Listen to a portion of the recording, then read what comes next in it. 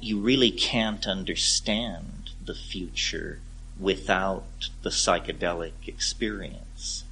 Uh, history seems to be becoming more and more psychedelic, if by that we mean uh, self complexifying, interconnected, proceeding along unexpected developmental pathways, uh, more and more concrescent, more and more at the behest of the dynamics of emergent properties that are unpredictable.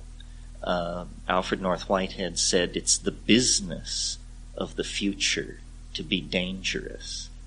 And of course, as we approach the millennium, this is the subject matter of every pundit and public speaker and street corner orator, because though it is simply on one level an abstraction, you know, a turn of a zero, nevertheless, the calendar is the largest frame for our being that we allow the unconscious to generate. And the calendar is like a kind of geodesic structure inside of which being is caged. Uh, you know, the Mayan calendrical cycle is coming to a close in 2012.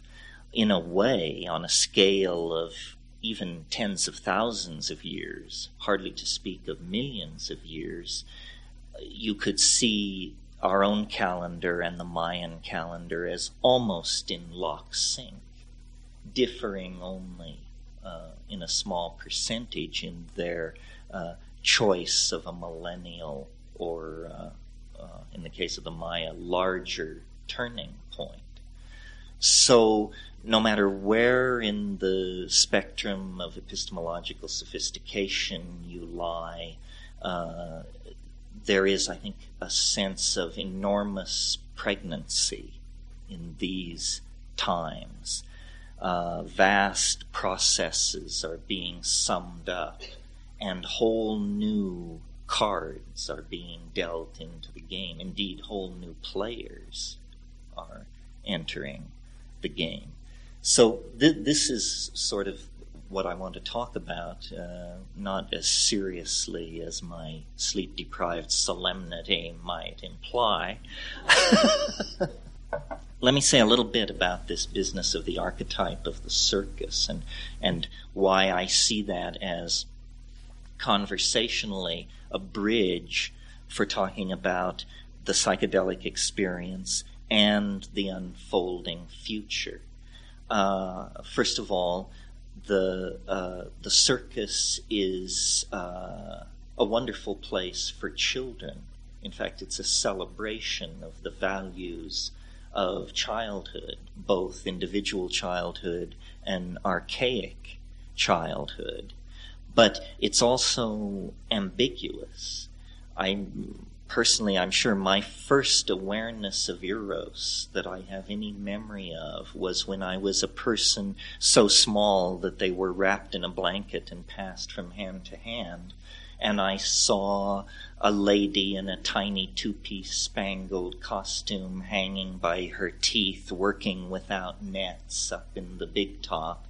And uh, I, I got it. I got uh, the, the Eros death. Uh, uh, dichotomy there. Similarly, in the circus, uh, you know, away from the light and the action, away from the center ring, are the um, the exhibit halls, the thing in the bottle, the hermaphrodite, the fat lady, the goat-faced boy.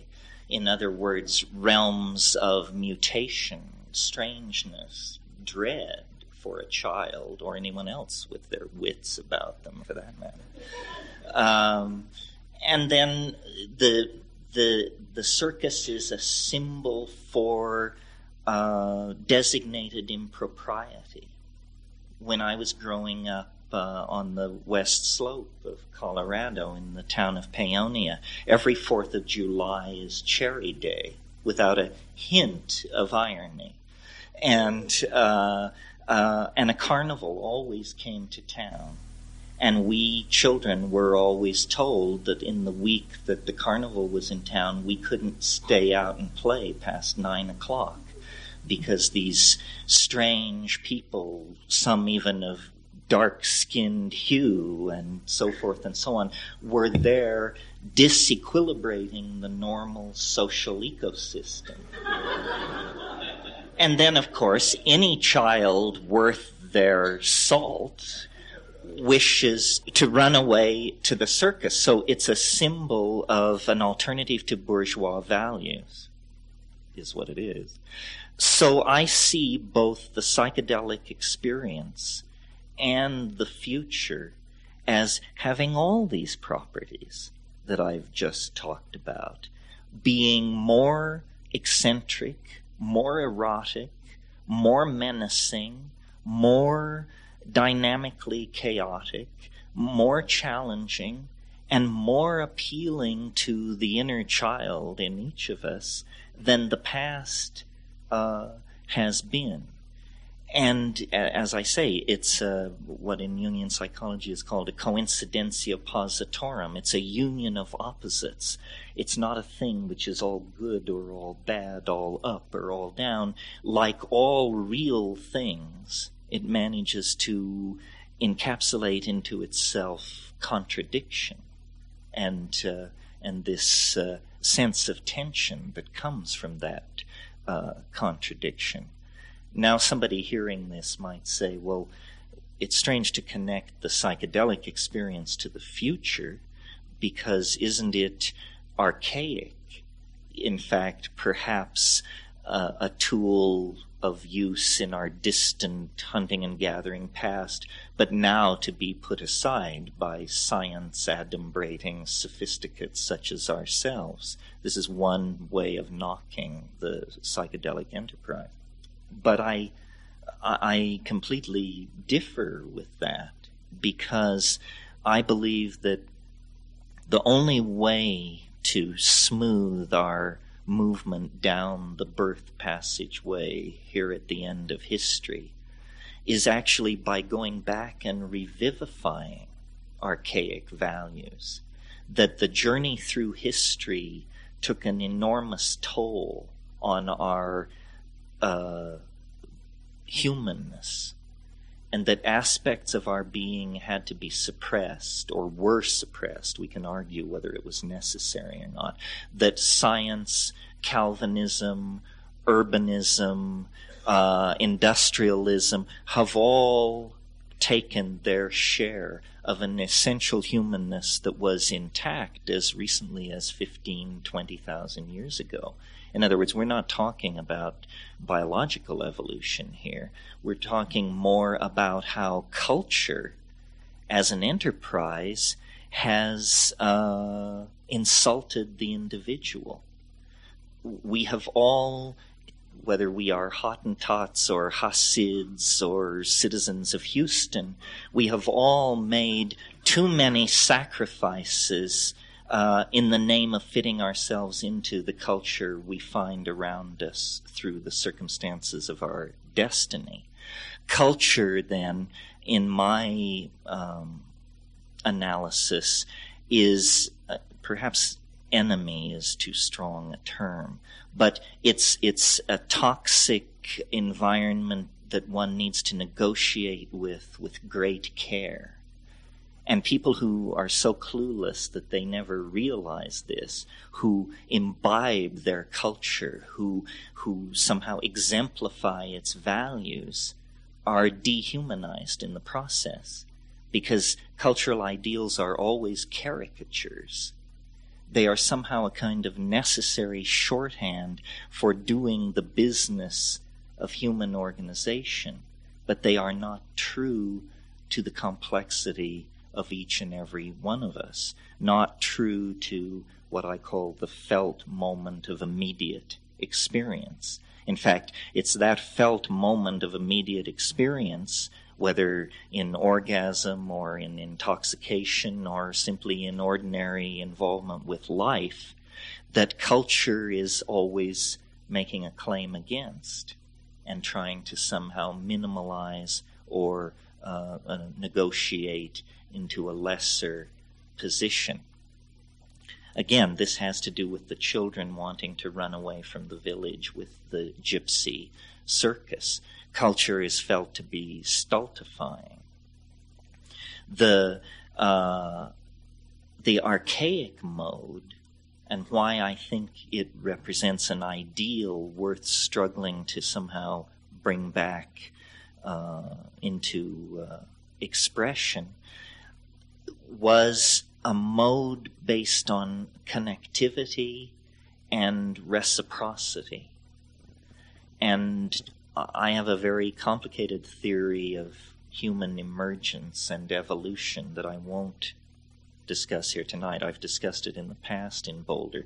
But in a nutshell, I believe that our tendency to form dominance hierarchies and to operate with a high degree of brutality as social animals was actually interrupted by inclusion of psychedelic plants in the human diet, interrupted for perhaps a hundred thousand years, ending 15,000 years ago. And in that 100,000 years, when by omnivorously expanding our diet, we allowed psychoactive alkaloids to become part of human, uh, the human experience, our uh, tendency to form these male dominant hierarchies was overturned. In other words, we literally medicated ourselves out of a style of organization that was brutal, if not neurotic.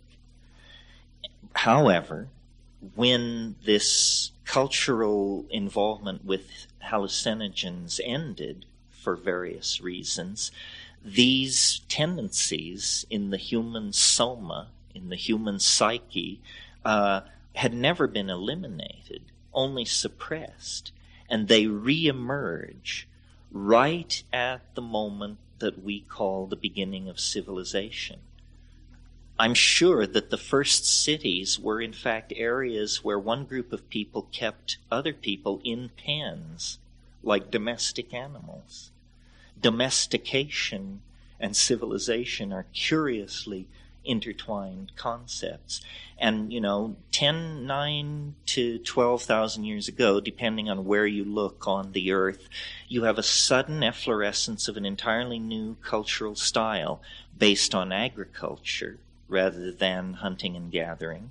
It's phenomenally successful agriculture, a consequence of which is surpluses, a consequence of which is paranoia because suddenly these surpluses have to be defended from outgroups. You have sedentary settlements, and consequently, the great nomadic round and movement of people in flocks that knows no notion of place or property was interrupted.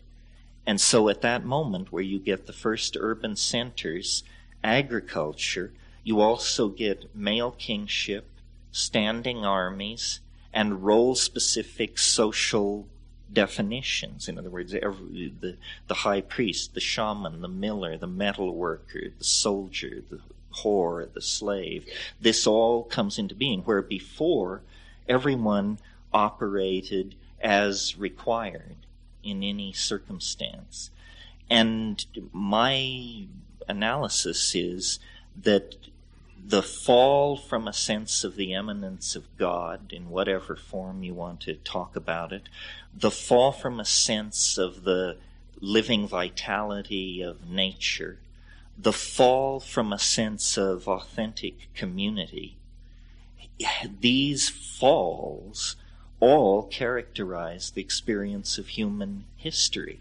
And we are now basically at the end of our rope. We can fall no further without dragging the entire enterprise of planetary biology into catastrophe.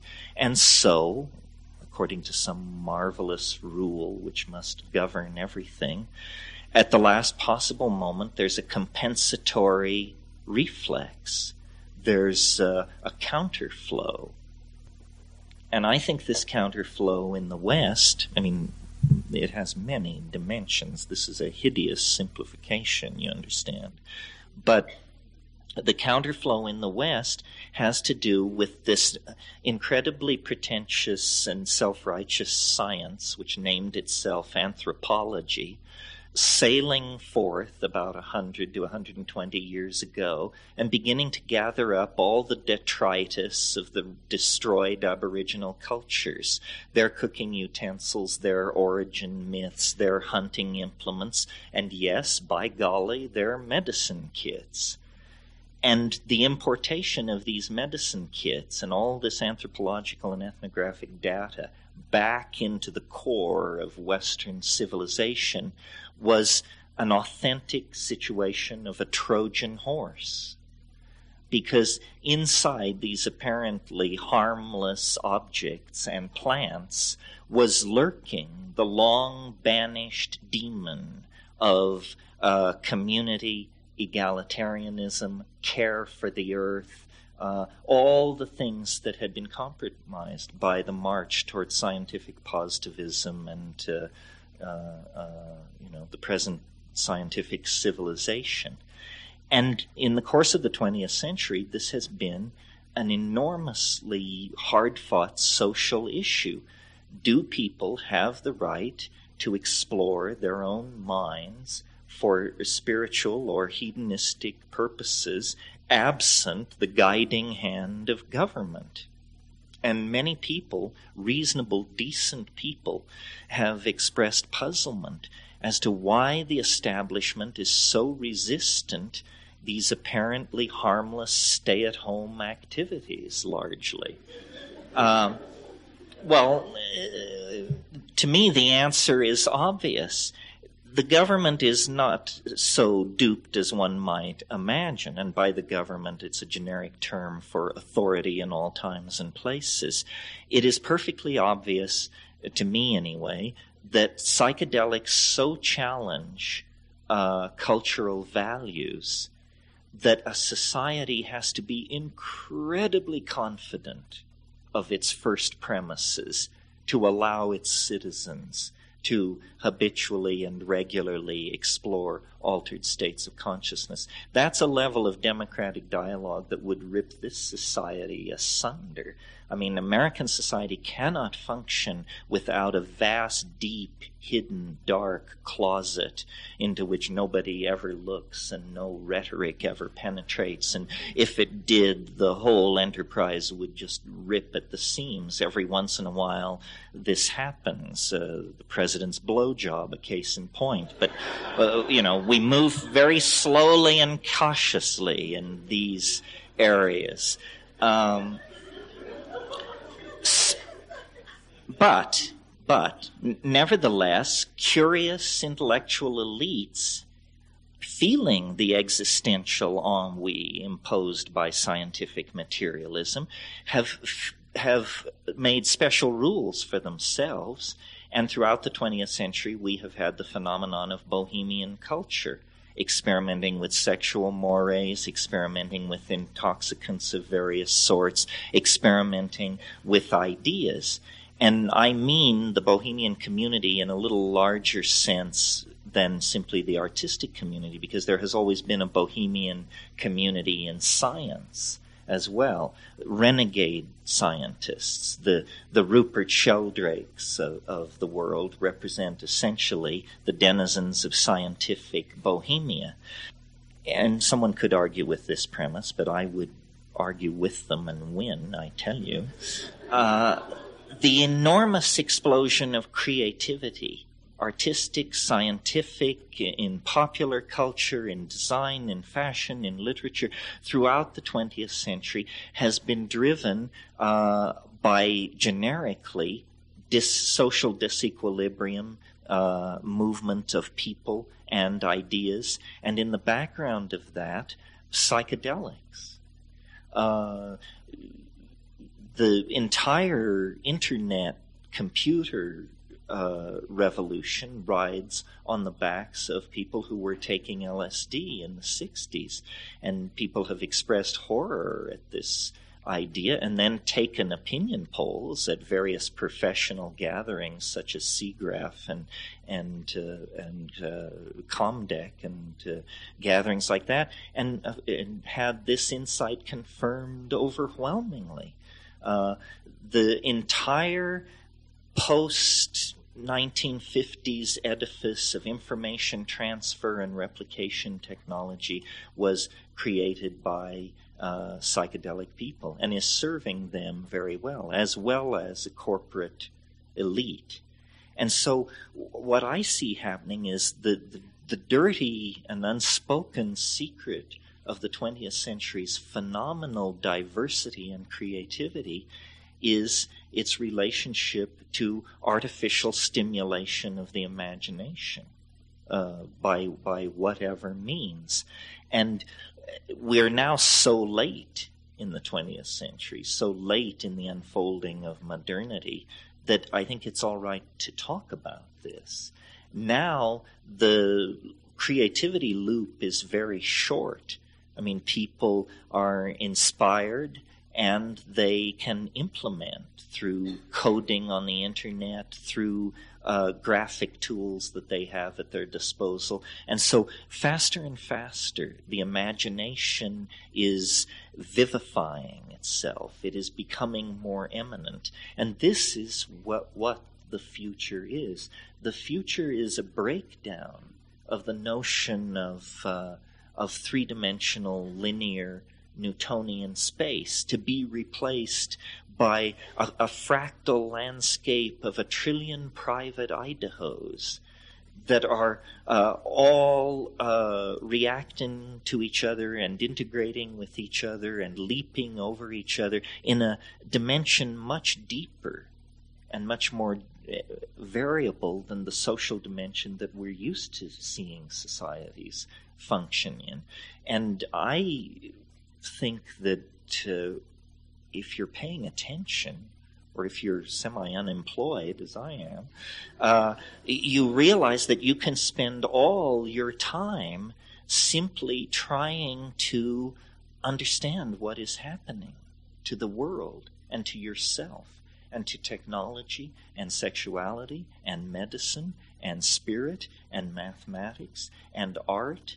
Uh, and this drama of being is now being waged on so many levels at such an intensity that uh, the metaphor of saying history is like a, a, a, psychedelic experience is actually giving way to the fact, the demonstrable fact of the matter.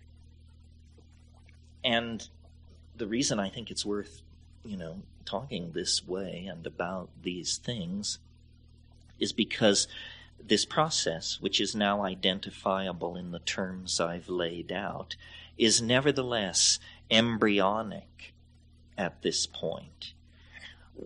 In other words, we have a lot farther to go than the distance we've already come.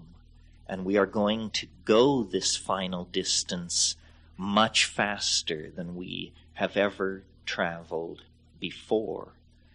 And uh, there there is a, there is a lot of fear about the future and what it holds and the opportunities and the challenges. I mean, when you start talking about uh, uh, life extension, downloading human beings into circuitry, nanotechnology, an infinite number of easily designed and uncontrollable drugs, psychedelic and otherwise, that do all kinds of things, uh, artificial intelligence, possibly alien intelligence, uh, you realize uh, the planet is busting at the seams. And the main task of everyone uh, who, by good fortune, finds themselves close to the top of the pyramid in the high tech industrial democracies, and I mean everybody in this room tonight for sure, uh, the main challenge then is to participate in the managing of this, the managerial process. Not that it can be flawlessly managed. Uh, it has a morphogenetic dynamic of its own. But, and in fact, this morphogenetic dynamic is so powerful that if you don't arrange yourself to its convenience, life will probably get very weird indeed. Uh, uh people who are homophobic or people who have racial prejudices or uh, people who believe in grab as much as you can and hold the other guy down. These people are going to have extremely unpleasant surprises if they haven't already uh, along the road of life, because these are fatal, not simply erroneous thought structures, they're fatal thought structures.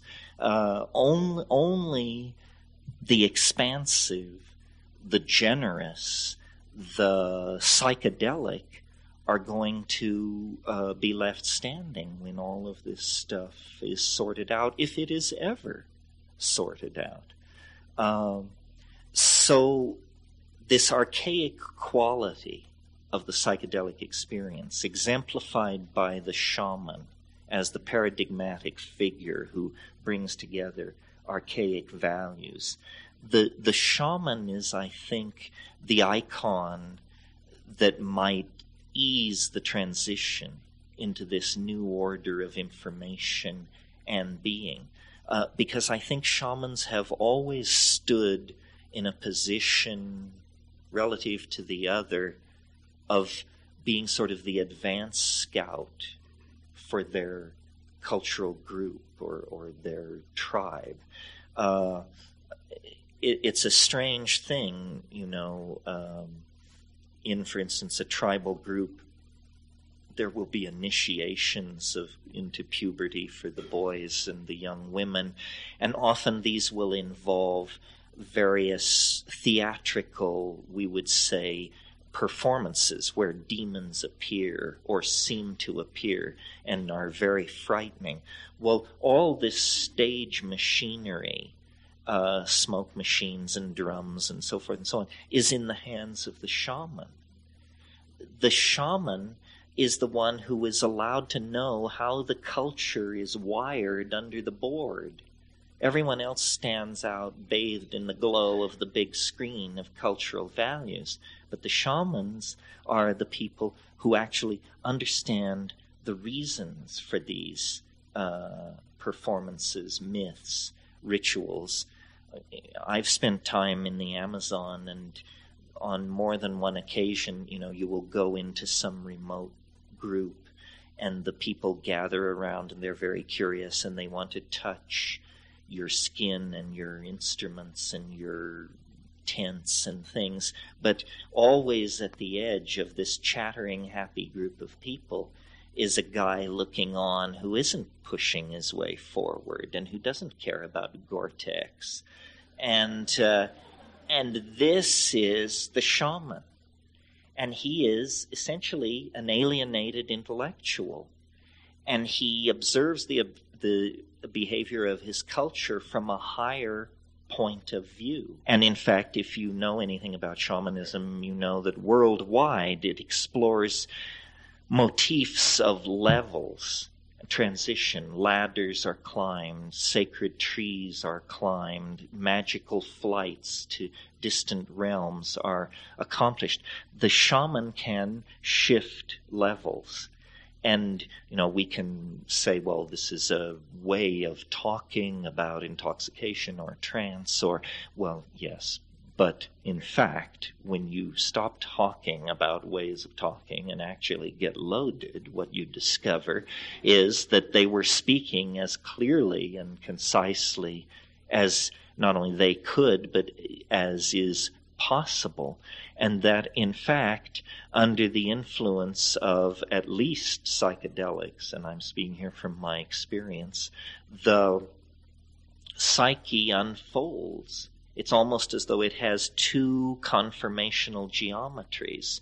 One folded, tight, culture bound, paranoid, ego driven, uh, so forth and so on. The culturally defined persona, the good son, the hard worker, the good mom, so forth and so on. And then, uh, absent those cultural constraints and under the under the influence of a and let's use the Jungian word inflating dynamic like a psychedelic the the self the ontos of being unfolds into a completely different world and I maintain that it is not fully grasped within psychological metaphors alone that this world that is unfolded into is better grasped by mathematical metaphors.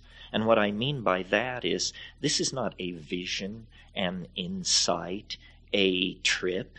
This is an other dimension, as Riemann, Lobachevsky, and Euclid would understand the word dimension. This is why the shaman can see where the game will congregate predict the weather, successfully cure.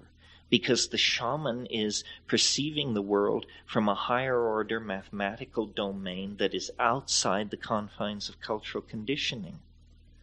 And just, you know, where am I going with this? We're close now. The learning curve was steep, but now a storm battered cabin. Uh, where this is going is this this evolution of the shamanic hyperdimensional type out of confined culture is a fractal model for what is happening to us here at the end of history. We are trying to build not a class of shamans, but uh, a shamanic culture in other words, a culture, and there has never, I think, been a culture of this type on the planet, a culture that actually lived in the light of the fourth dimension. Not, not as passed down through a shamanic class, but as a component of the felt experience of every single member of that culture. And that's, uh, and that is what this spatial displacement of locality is about, how our minds are spreading over the planet. We are losing our association to our genetically endowed primate bodies. We are no longer, our, our gender self definition is no longer bound by biological destiny. Our political institutions are designed to free us for class transition. We are in this act of expanding to fill a, a, larger mental space. And this is a huge thing. I mean, you hear about the paradigm shift, but we're like barnacles on the whale of the paradigm shift, and it's very hard for us to orient toward what is happening. We each think we're having our own private adventure with our career, with our sexuality, with our philosophical understanding, with our psychedelic voyages, with our spiritual teachers. But in fact, you know, notice that everybody else is going through something very similar. And the, uh, the payoff of all of this, I think, is uh, a more comfortable mode of being that we really do feel the weight of some kind of original sin. We are cast from paradise. We we feel flawed, and if we aren't flawed, we rush to invent flaws.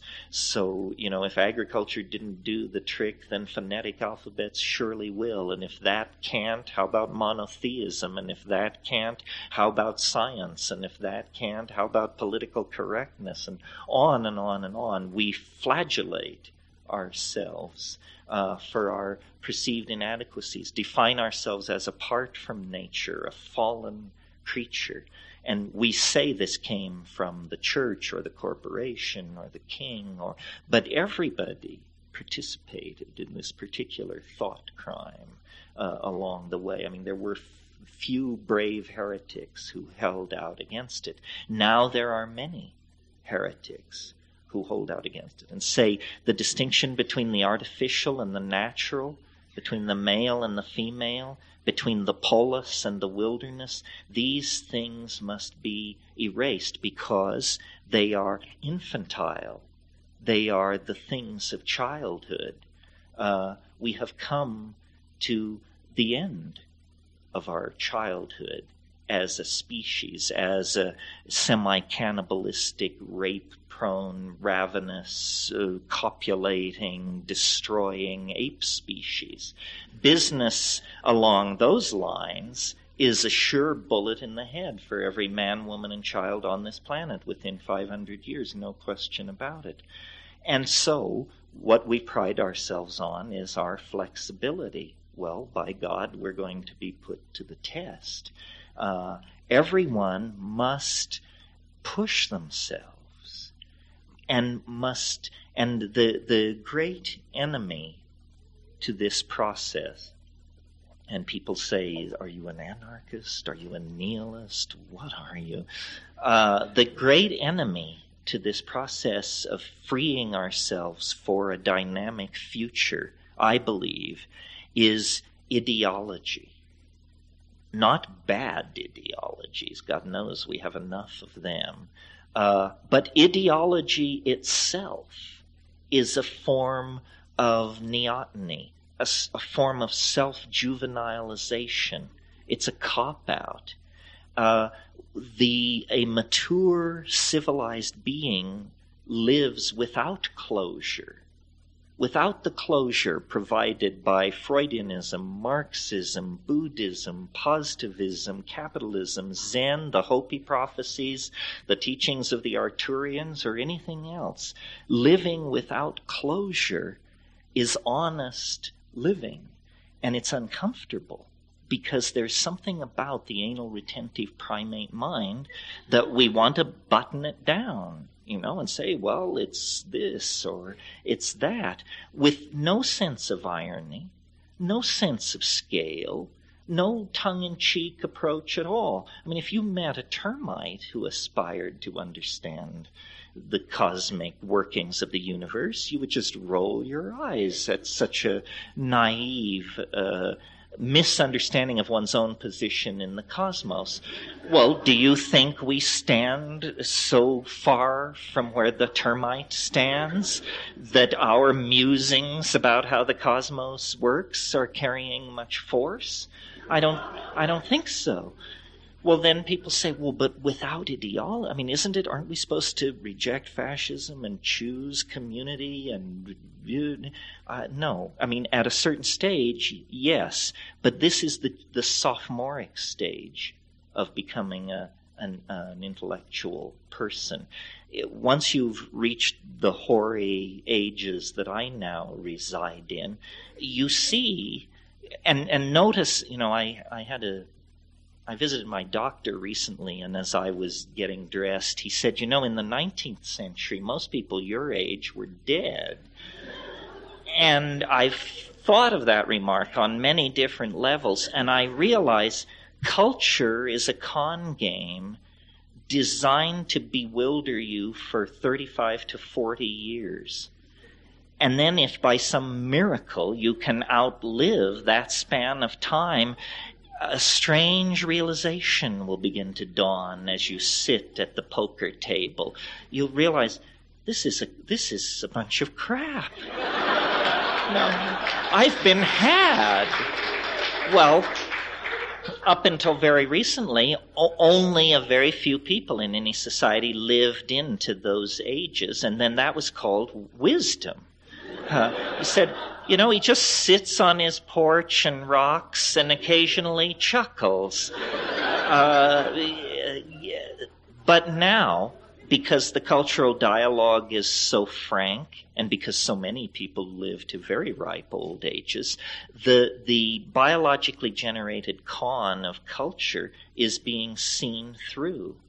And it, the falsity of ideology is exposed for what it is something that you bamboozle children with for 30 years. But beyond that, it, it doesn't serve. Well, so then what is to fill this void that has always been filled by passionate convictions, regardless of what they might happen to be? Uh, what is to fill the void is what I call, and I mentioned it earlier, the felt presence of immediate experience. the felt presence of immediate experience. This is sufficient. This is, it's hard for us, armored as we are, and, and defocused from the moment as we are by our previous imbibing of toxic cultural values. Occasionally we touch this. Well, I think psychedelics are the way back that you can train yourself. And there may be other roads back, meditation and so forth. But psychedelics is the fast track, I would argue. Uh, to a, a, sense of here and nowness, a sense of bodhi mind, a sense of stillness, a sense of connectivity to the Gaian uh, intent. And with that, the morphogenetic dynamic that is unfolding becomes exhilarating, adventuresome. Trust, you, you can reach down into it and trust nature. Without it, it's all paranoia and should I stockpile food and what should I do with my investments and where am I going to run to given this catastrophe, that catastrophe. Uh, you know, people are so agitated by the notion of the end of the world and yet don't seem to notice that the end of their world is a pretty sure bet. Uh, most people are dead. I hate to be the one to break it to you. Whatever dead means, we don't know. But most people are in that condition. Uh, uh, and so it shall come to us, presumably, in one form or another. Well, compared to your own self extinction, issues like the end of the world seem like fairly abstract political matters. Uh, so I, I, I think uh, that corporate capitalism and object fetishism, which seem to be two human traits that cross fertilize each other, are run on anxiety and that this anxiety uh, is uh, trivializes what it is to be human, and that all of nature waits upon human beings to awake from the delusion of history and to re-embrace uh, the living processes uh, that nature represents. And the medium of exchange are the psychedelics they are very mysterious. Anybody who thinks they simply, uh, through perturbation of brain chemistry or something, allow, uh, I don't know, repressed material from the personal unconscious to come into focus. This is such a dumbing down of what it is. These things carry intelligence, far greater intelligence than our own, an ocean of alien intelligence moves through the vegetable world, which is ancient beyond imagining on this planet. I mean, it goes back 500, 600 million years. And an ocean of very strange intelligence, but approachable, at least approachable enough to be identifiable as intelligence, resides there. And we have wandered from this and in our hubris built these paranoid schemes into our behaviors that I call cultural values, and they have pushed us now uh, into very precarious places. So it's time to come back. And, uh, you know, this is pretty eggheady stuff. You can't shout this on the street corners. But as I said, we represent the upper 10, 5% of the pyramid of privilege and connectivity on this planet. And if we can begin to talk this way, think about things in these terms, transcend ideologies, uh, we will move forward and we will assuage the anxiety of those less fortunate and further down uh, on the social pyramid. And I'm really serious about this ideological thing. I mean, because I see that there's a kind of bifurcation which we I almost said ahead, but no, we are in this bifurcation right now. And it's whether we shall fragment into cult or embrace this thing I'm talking about, which is living without closure. Cult is no answer. Cult is the old answer repackaged in smaller sizes. Uh, no human being has greater insight into your circumstance than you do. If you've somehow managed to convince yourself that this is not the case, you need to seriously think it through uh, because our perspectives are unique. We can generalize from one person to another, but no one is in a position to claim leadership. It's unnecessary. The dynamic of the situation is larger than any single human being. And anyone who says, I understand, I know, follow me, is certainly not to be invited home to dinner or tithed to, or because uh, no one knows. It is a mystery. And a mystery is not an unsolved problem this is what science has led us to assume. All mysteries, you hire people, they gather data, the mystery goes away. Only, only the trivial edges of the mystery can be illuminated in that fashion. The core of being is pure contradiction. Life is death. Death is life. The past is the future. The present is eternity. And comprehending this is not to become some kind of uh, ivory tower intellectual. Comprehending this is to move past intellectual concepts to actually embrace uh, love. Love is what waits beyond uh, abandoning the search for closure. Love is not closure. Love is challenge, emotion, being in the purest sense, not becoming. This is the realm of becoming, and it is always striving, and it is always incomplete. Love is the realm of true being, and it lies beyond the prison of culture, beyond the prison of ideology, beyond the prison of self defined limitations. Thank you.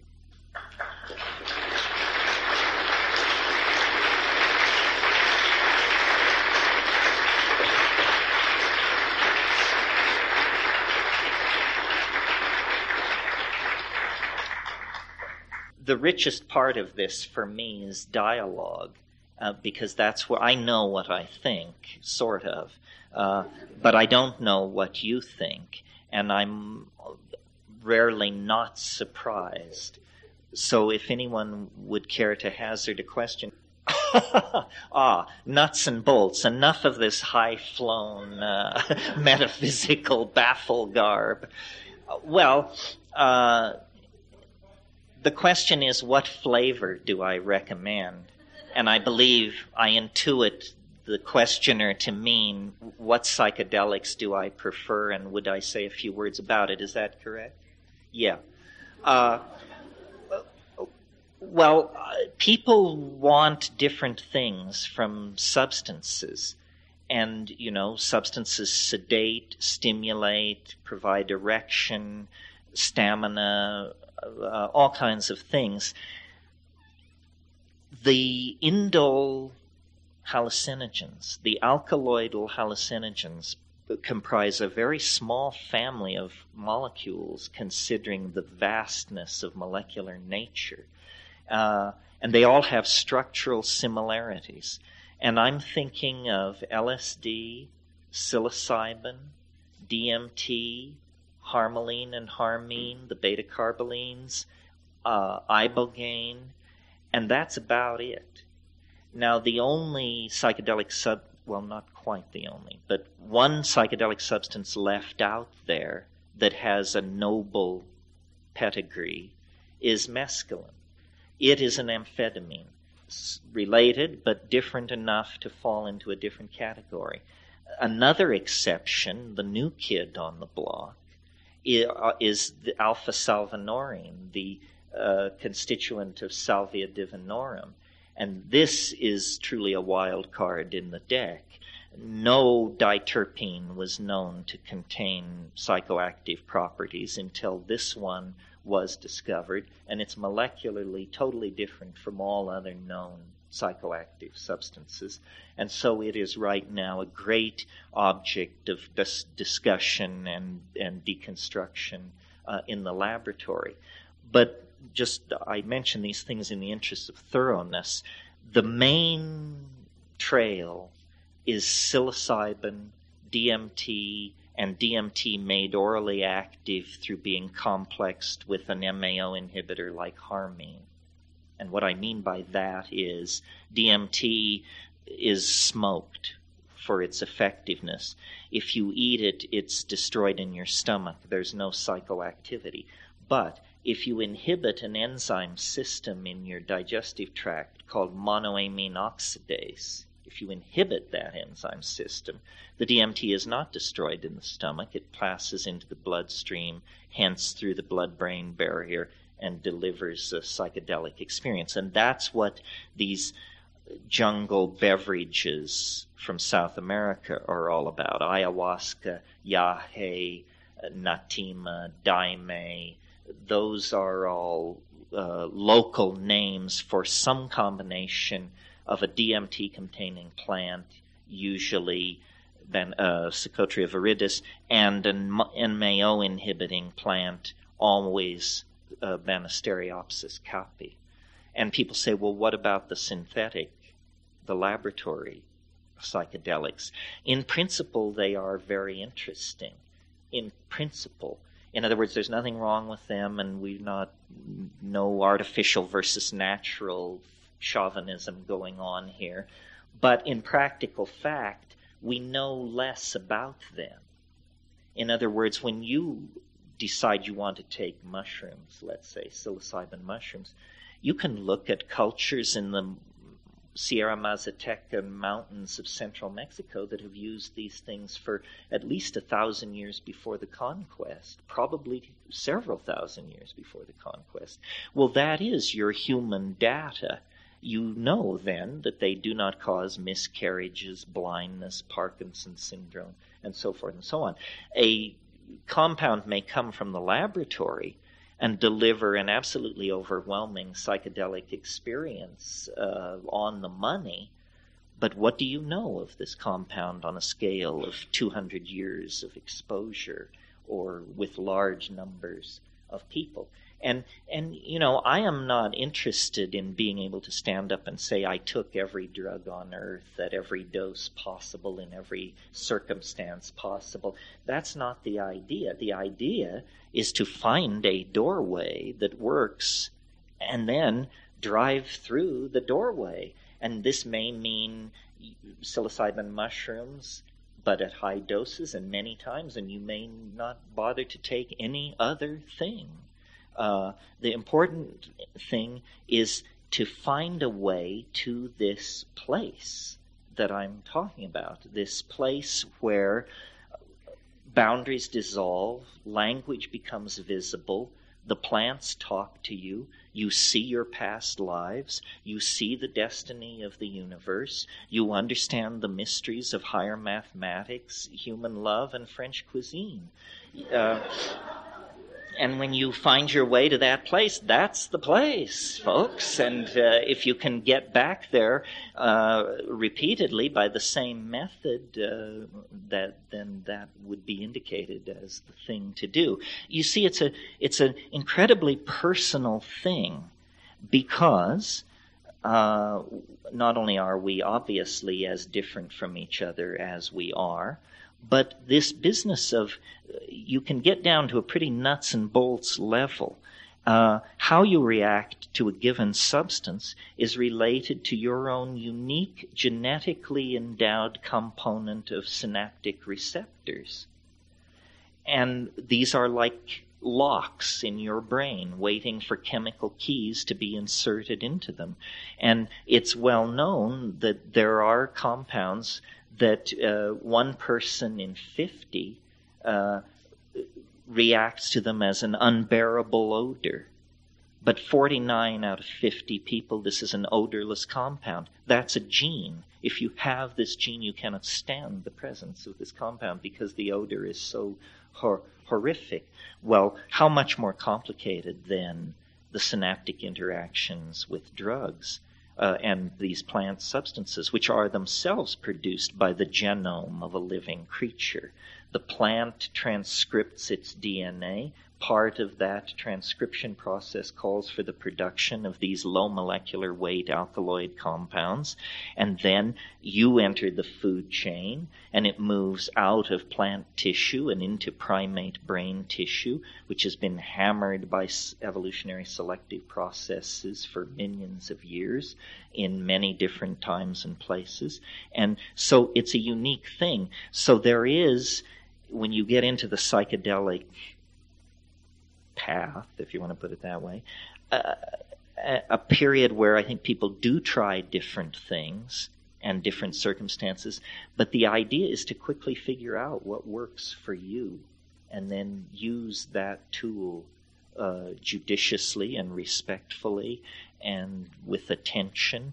And these things are remarkably harmless. I mean, pharmacologically, medically speaking, these are some of the most harmless compounds uh, that are active in organic nature. Someone once said to me, they said, if you want to understand LSD as a chemical in terms of its power, imagine the Empire State Building being ripped apart in a half an hour by one ant an ant that could demolish the Empire State Building in 30 minutes.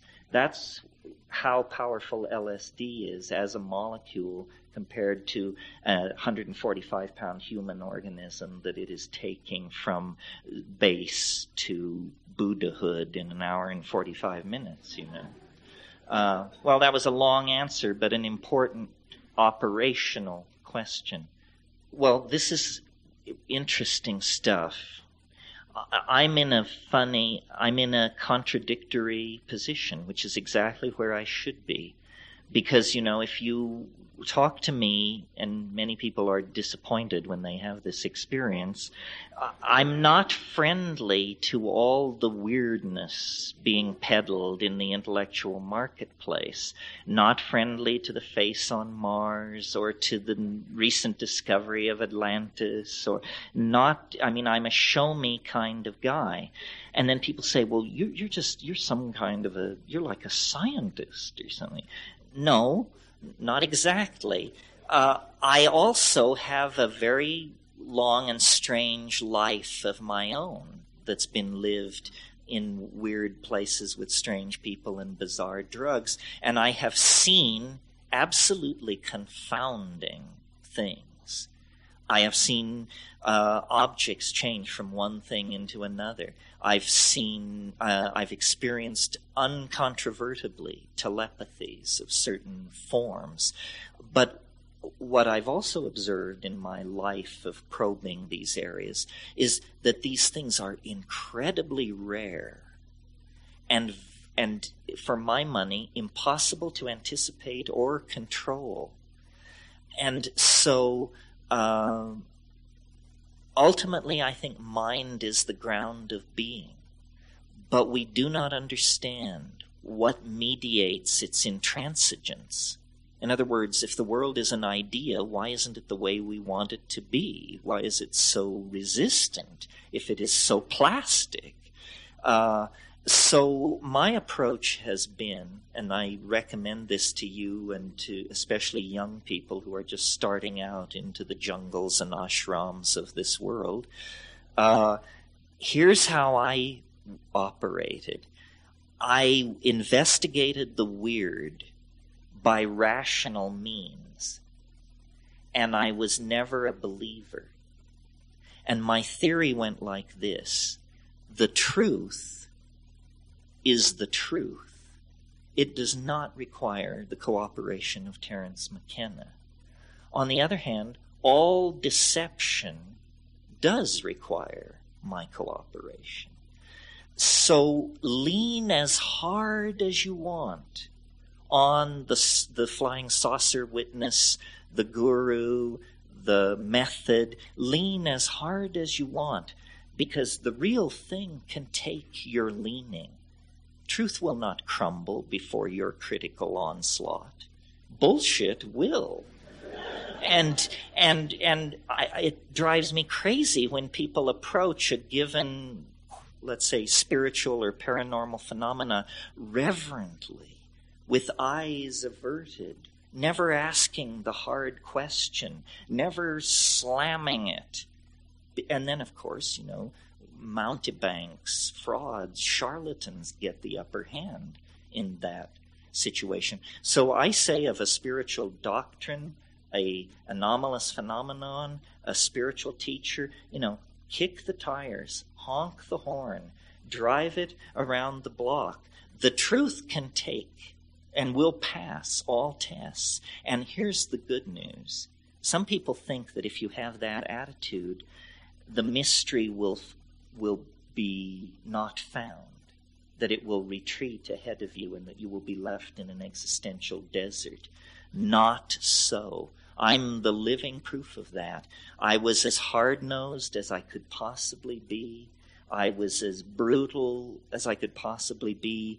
And there is unimaginable strangeness not at Zubenelgenubi or Proxima Centauri, but, you know, North Denver. Uh, phenomenal weirdness haunts the world nearby. And, uh, and you can find it if you are not distracted by false weirdness. And there is so much false weirdness these days that I, I feel almost like I'm trying to save people from uh, the clutches of all this uh, New Age banditry that's uh, about. So that's that. Well, at the risk of dragging the reluctant into places they didn't think they'd go this evening, uh, this is a fascinating thing. For, I mean, this is close to my heart, this question. Because, uh, first of all, let me background this as I understand it for you. Probability theory is a way of understanding nature that has been evolved primarily in the last couple of hundred years. And it is the primary tool of modern science. And roughly it works like this if you want to know something, like let's say how much electricity is thro- flowing through a wire, the way to find this out is to measure the electricity 10 times, add those numbers together, and divide by 10. You now have a number called the average voltage moving through this wire. Now, you might immediately notice that this number need not be identical to any of the numbers which you added together. In other words, it does not agree with a single measurement that you made. It is the average of those measurements. Now, I maintain that science has made a fundamental error. It's an understandable error, but it's not a forgivable error. And the error that science has made is this in the application of probability theory to nature.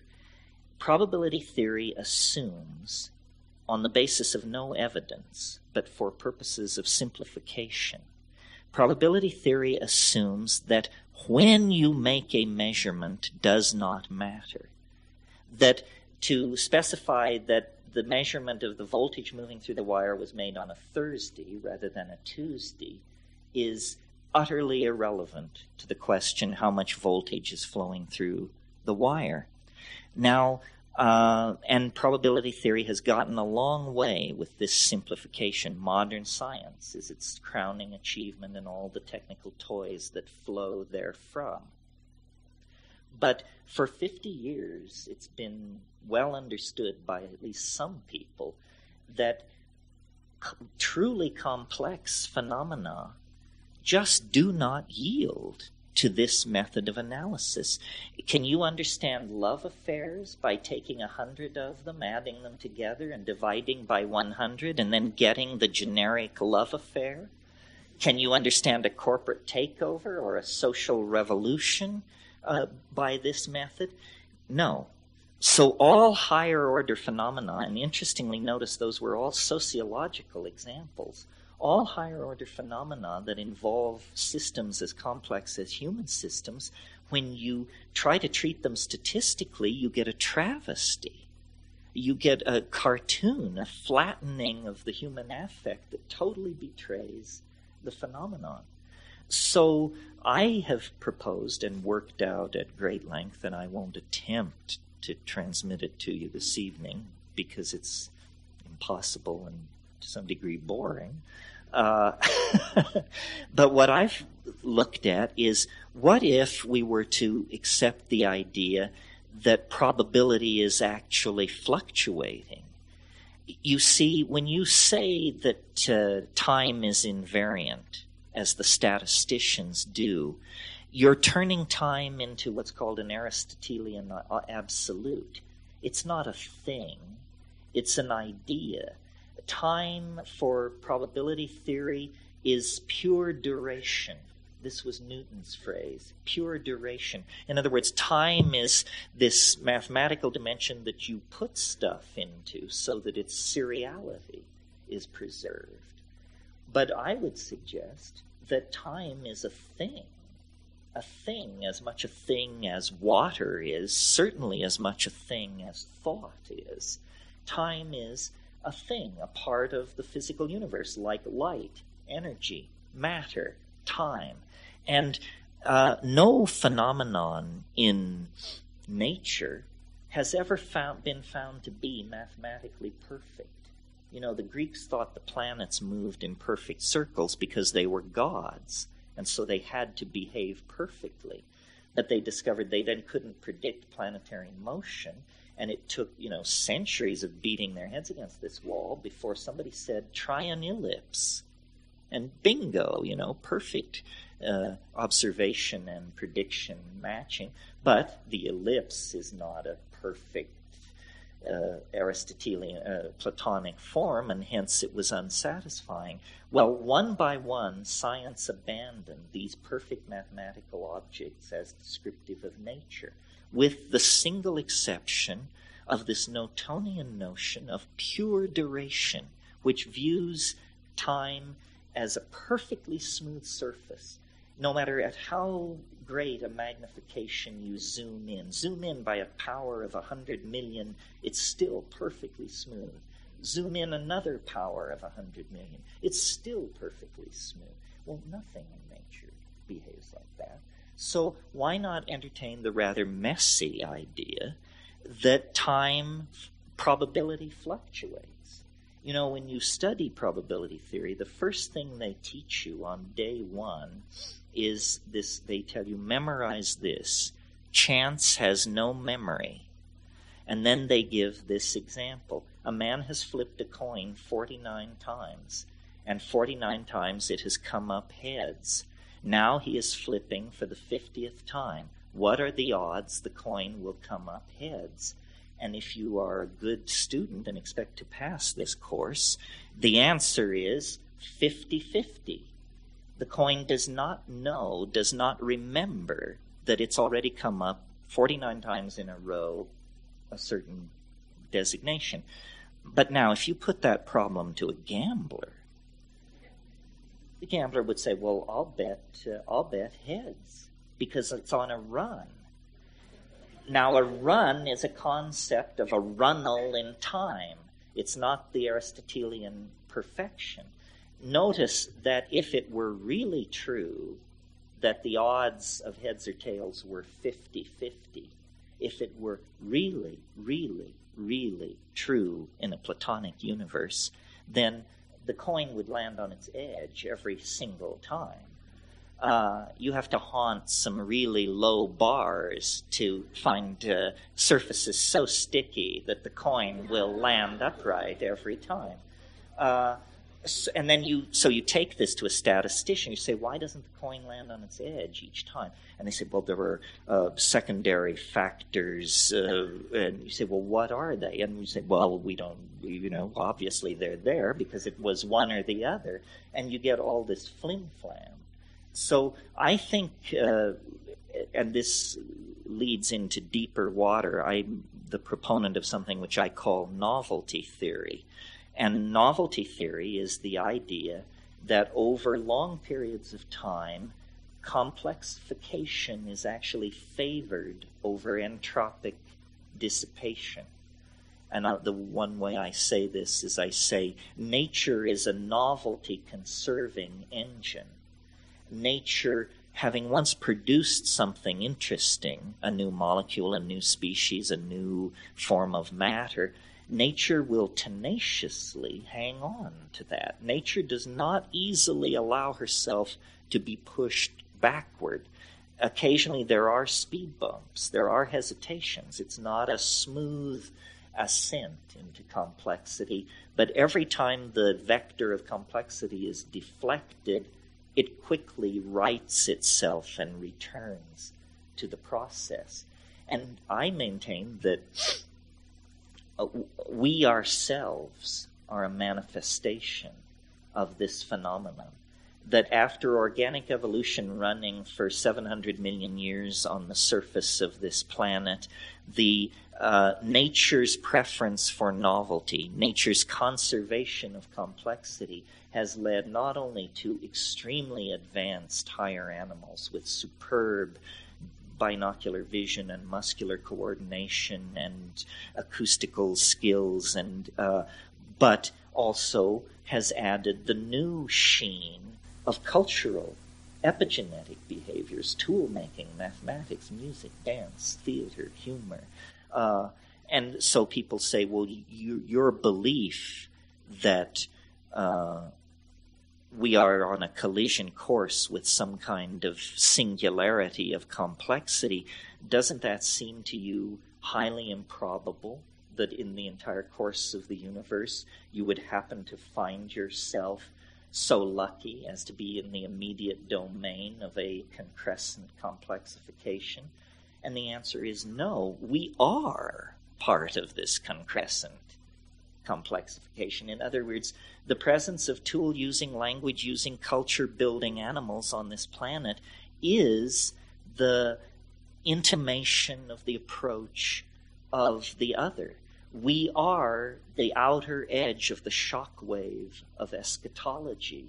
Nature has pulled us forth out of being as simple witnesses to a much more complex phenomenon still to come, of which we will be a part.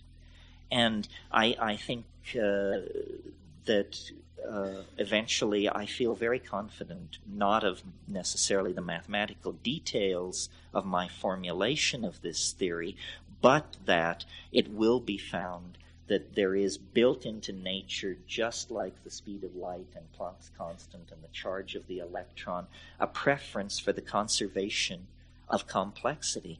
And if that's true, you see, without kneeling down to anthropomorphic gods, uh, we can abandon existential nihilism and all this rap about how we're the chance witnesses lucky to be here and the universe is flinging itself from meaninglessness to greater meaninglessness. And no, not at all. Suddenly, we've uncovered the thread of the cosmic drama. Nature loves complexity. We are on in our hood the most complex game around. Therefore, nature loves us and immediately an ethic is implied. That which preserves and advances complexity serves the universal purpose. That which degrades, betrays, and destroys complexity serves uh, the negentropic uh, uh, tendency that nature, at least organic nature, but I maintain all nature, is struggling to overcome. So th- this is very exciting to me that we could uncover an ethical d- uh, vector in the universe and align ourselves uh, with it. Uh, as far as a bibliographic citation for a critique against probability theory, uh, I, I think probably this talk is uh, some of the most detailed that's ever been given to the subject.